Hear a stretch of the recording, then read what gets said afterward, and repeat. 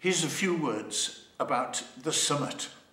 Now, there's lots of summits around. There are mountains and there are meetings of leaders of nations, but this is a different kind of summit.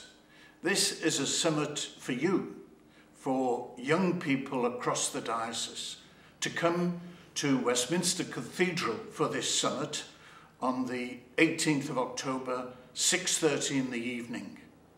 Now, why is it a summit? Well, let me tell you what's going to happen. We're going to be together, we're going to celebrate our faith, we're going to listen to inspiring speakers, we're going to spend time in prayer, and we're going to enjoy each other's company. At the heart is Jesus. At the heart is the Eucharist.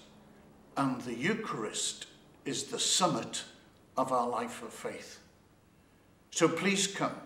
We'll climb to the summit of our faith in our presence before the Lord, and we'll open our hearts to that fantastic vista, those views that we get from the summit of our faith about who we are, how we are to live, what we hope for, and what is the source of the greatest gift of all, God's love in our lives.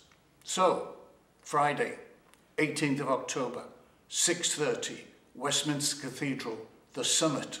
See you there.